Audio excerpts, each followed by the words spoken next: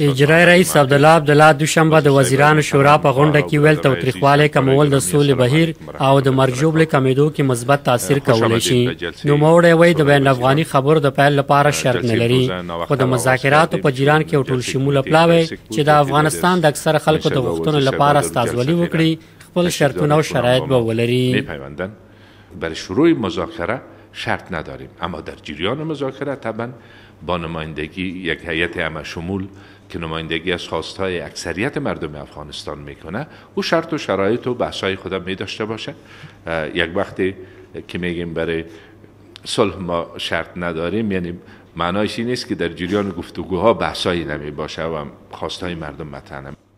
عبدالله عبدالله داسې مهال دغه څرګندونې کوي چې ولسمشرۍ ماڼۍ د بین افغاني خبرو د پیل لپاره د طالبانو لخوا د اوربند په ټینګېدو باندې د خپل لومړني شرط په توګه ټینګار کړی دی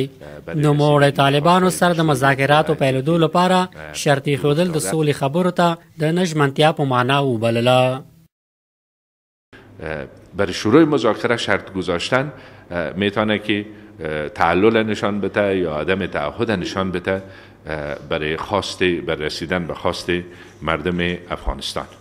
دا په داسې حال کې ده چې ولسمشرۍ معنی تل د توتریخوالي کمیدو له طرح سره د مخالفت په خودلو سره غیر عملی بللې او ټینګار کوي چې طالبان له خوا د اوربند ټینګېدو پرته د سولې په اړه روانې هر ډول هڅې به هیڅ نتیجه ورنکړي